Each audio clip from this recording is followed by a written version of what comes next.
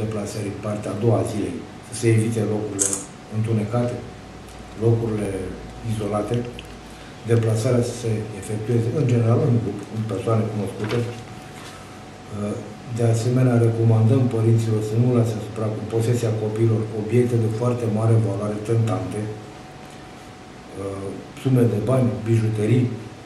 telefoane mobile, în de situație, de asemenea, în orice situație care implică sau poate avea un potențial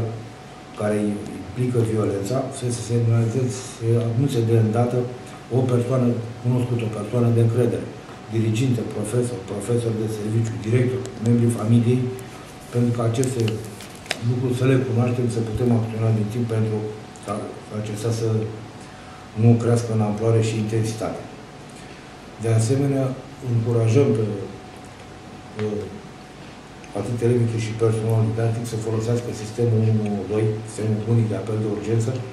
pentru a semnala orice scenă de violență, orice manifestare antisocială,